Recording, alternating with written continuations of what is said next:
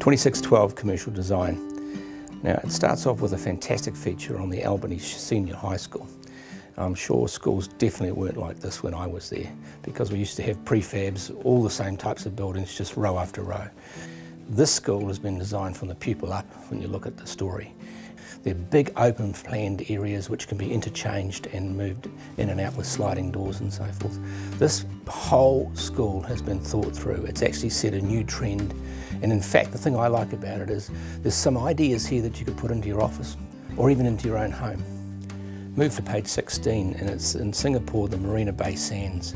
Now, you definitely would think that this is something we saw 20 years ago in a futuristic movie, or it's in fact computer generated. This is a real complex, and if you look at it, you have to look at it twice. I'm absolutely sure that this building, the way they've built it, will become an iconic architectural piece in the whole of Asia, let alone the rest of the world.